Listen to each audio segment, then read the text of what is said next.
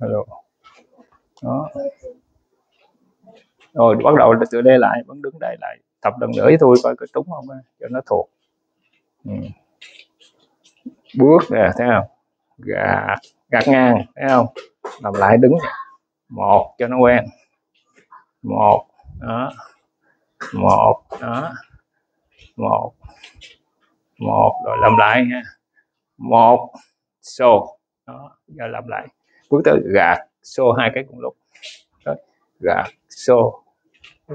Gạt xô. Bước tới gạt xô.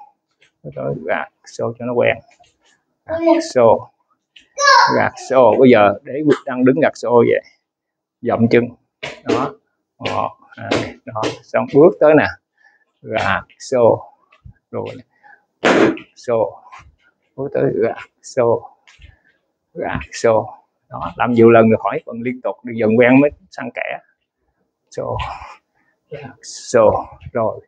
Gạt xô gạt xô làm lại đi. Rồi dơ lên trụng chân. Bước tới gạt xô gạt xô lúc gạt xô đùi chân gạt xô đùi chân gạt xô rồi dậm chân. Bước tới gạt xô bước tới gạt xô lùi chân lại. Bước tới gạt xô lùi chân gạt xô lùi chân lộn chân. Chân phải là chân phải. Thế. quá quậy quá